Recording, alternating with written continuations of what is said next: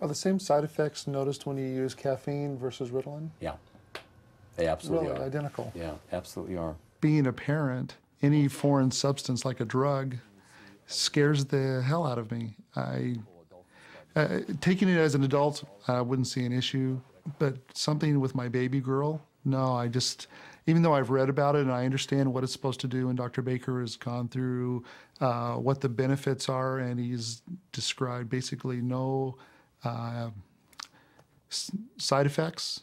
Still, to me, it's somewhat of an unknown, and maybe it's just my ignorance, but it it's somewhat terrifying for me. Lauren, too, is worried about how drugs will affect her. I don't want to be normal. What? I don't want to. You don't I wanna- want to be normal. Just I mean, I want to be original also. Oh, okay.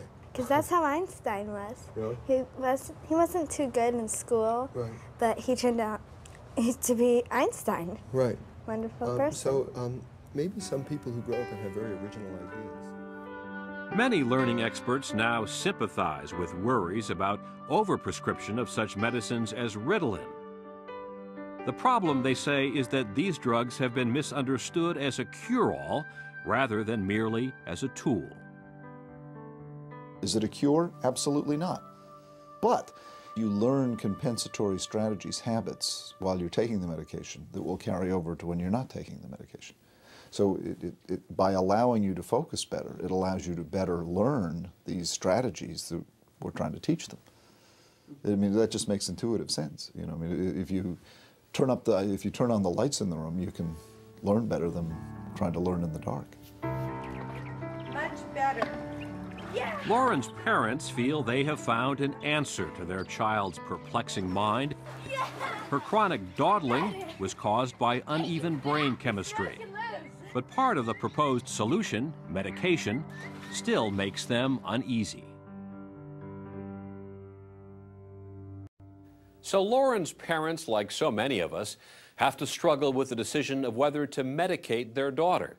They wonder if they risk losing the fanciful and eccentric girl they love. When we return to her story, we'll discover their decision. Meanwhile, Nathan Van Hoy is finishing the second grade.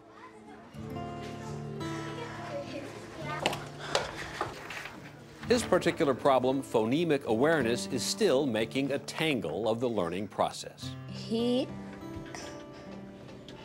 sti- SB. Spit some slime out to blind. Our research shows us that if we don't get to the kids by about nine years of age with strong, efficient strategies to help them understand sound structure, the probability that they will learn to read is, is very minimal. To help him, the school wants to put Nathan in the resource room, where he will be learning with kids of all ages and abilities, from subtle problems like his own to more severe ones like autism.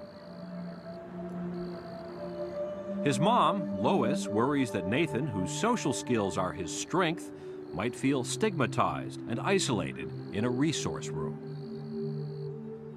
The scholarly part of me knows that these are intelligent people and that the evaluations they made are appropriate.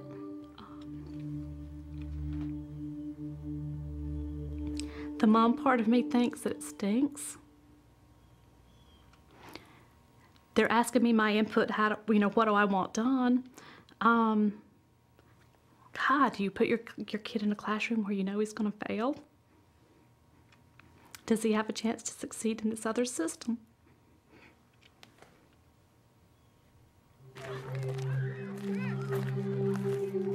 In the end, Lois decides she has no better choice.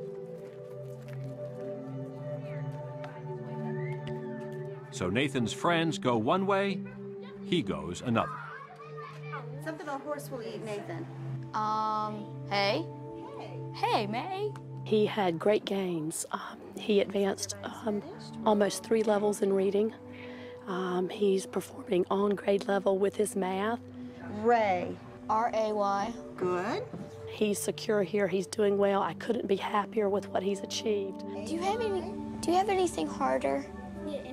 This is an example of something he wrote during journal time after we got our rabbit. But as winter approaches, there are signs of the familiar failures. He looks big when he is standing up. He also reminds me of Jeff Gordon running around the running around the cage just to see where what kind of errors he makes. Nathan's mom is learning that her son's tortured progress is going to involve a series of small gains and more than a few setbacks. He's kind of reached a plateau and it's it's going to take that extra effort and that extra thinking to, to go to the next level. Yeah. And that's kind of what I wrote in my Guided by advice from learning experts, Nathan's teachers are tackling his problem with reading and writing by focusing on his particular way of learning. Our O U T R. They hope to employ his coping mechanism, his strong memory, to attack his weaknesses, Record it for me.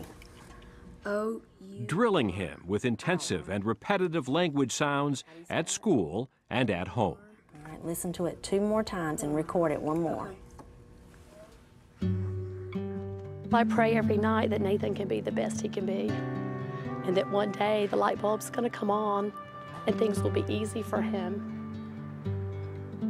There are days when you think, will it ever happen? But I don't allow myself to think that it won't. Van, fist, fits, fish, cast. Good job. It's a year later, and Nathan is still in the resource room. The biggest improvement is he knows sounds now. He knows how to put sounds together into words. He can manipulate sounds in words. Say it fast, get ready. Fist. Nathan's learning problems will never go away.